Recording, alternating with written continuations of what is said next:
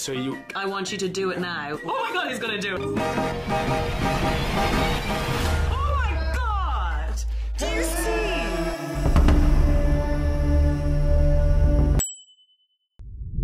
Welcome back. Today it's about splitting this apple in half. using your bare hands. This is a Cosmic Crisp, and it is one of the most delicious apples when it's done right. But I feel like lately, whenever you have an apple, it's kind of like watered down. Like Honeycrisps used to be amazing, and now what is even going on there? Apple ranting aside, let's begin. The first thing that you're gonna want to do is take a look at the top of this apple. You're gonna try to see if you can find that saddle shape right here. This is where you want to place your hands. We're to use this part of your hand, also known as the Mound of Venus, which is kind of weirdly suggestive for hands, but you know, I guess that's how it goes with names sometimes. There's a part of your brain that's known as the mammillary body, and it's called that because it looks like boobs. So anyway, back before I rudely interrupted myself for the saddle. The saddle is here. the saddle is here. We're just gonna wiggle our hands around and see where we can get leverage. I also think that it's easier with a smaller apple. The snack apples are way easier to crack open. Jesus Christ. oh, here we go. Okay, so you heard a little pop. If you look right here,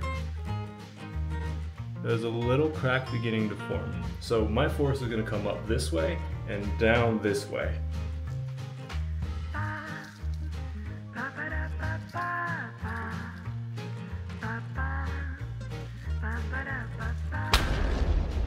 I think because we stopped partway through, we ended up with like kind of a weird jagged cut. So I think we got more of like a like a third of this apple off, which is actually okay. Because now we can just split this in half, go left and right, and now we have whatever is going on here with this puzzle apple. So that's probably gonna be the thumbnail. These shoots never go the way that I expect them to go.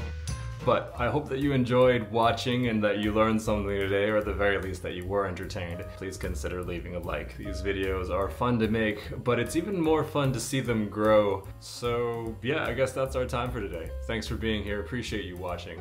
And until next time, peace. subscribe or whatever. I don't know what to say here. Are you still watching?